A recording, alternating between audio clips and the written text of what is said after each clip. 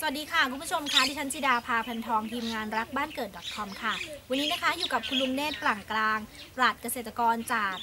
ตำบลด่านคร้าอำเภอโนนสูง จังหวัดนครราชสีมา ซึ่งวันนี้คุณลุงยินดีเผยแพร่ข้อมูลในเรื่องราวของสูตรปุ๋ยหมักชีวภาพบำรุงนาข้าวนะคะ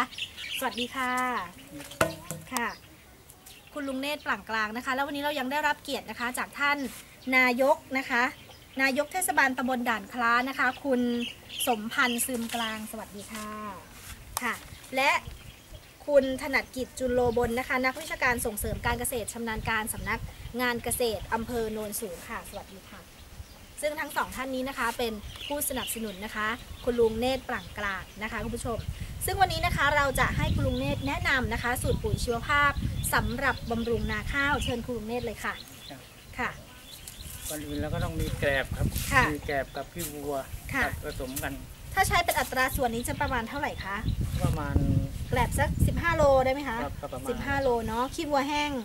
ก็ยี่สิบโล20 โลนะคะคลุกเคล้าให้เข้ากันเลยครับผมค่ะ แล้วก็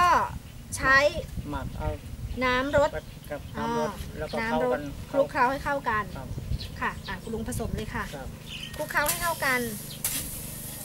เสร็จแล้วเราก็หมักหมักพื้นอย่างนี้เลยใช่ไหมคะครับกองมาพื้นเลยคนะรับมาพื้นเลยครับอ่าเอาพลาสติกคลุมครับ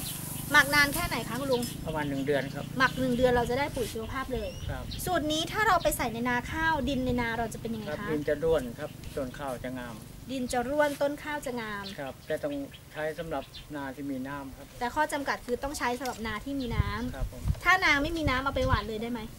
วัชพืชมันจะขึ้น หว่านได้แต่วัชพืชจะขึ้นครับอ๋อค่ะ เพราะฉะนั้นแล้วนะคะ ถ้าใช้ปุ๋ยสูตรนี้เนื่องจากมันมีส่วนผสมของแกลบแล้วก็มูลสัตว์ ครับใส่เยอะเท่าไหร่ก็ได้เลย ได้เลยครับไม่เป็นปัญหาไม่มีเนาะปัญหาครับ แต่สำคัญคือนาต้องมีน้ำนะคะ ซึ่งเป็นอีกหนึ่งเทคนิคง่ายๆนะคะ ที่พี่น้องเกษตรกรก็สามารถนำไปทำตามดูได้ถ้าบ้านไหนนะคะ มีแกลบเยอะๆมีมูลสัตว์แห้งเยอะๆก็เอาผสมคลุกเคล้าให้เข้ากัน โดยไม่ต้องใส่เอ่อชีวภาพอื่นๆใด ๆนะคะ หมักแค่เดือนเดียวก็จะได้ปุ๋ยชีวภาพชั้นเยี่ยมสำหรับบำรุงดินในนาข้าวแล้วนะคะคุณผู้ชมก็สามารถติดตามนะคะ รับชมคลิปเกษตรดีๆ แบบนี้ได้ บนเว็บไซต์รักบ้านเกิด .com ค่ะสำหรับวันนี้นะคะ ต้องขอขอบคุณนะคะ คุณลุงเนตรหลังกลางนะคะ ที่ยินดีเผยแพร่ข้อมูลสำหรับวันนี้ค่ะ คุณผู้ชมติดตามรับชมได้นะคะ ทางเว็บรักบ้านเกิด .com สำหรับวันนี้ขอบคุณและสวัสดีค่ะ Thank you.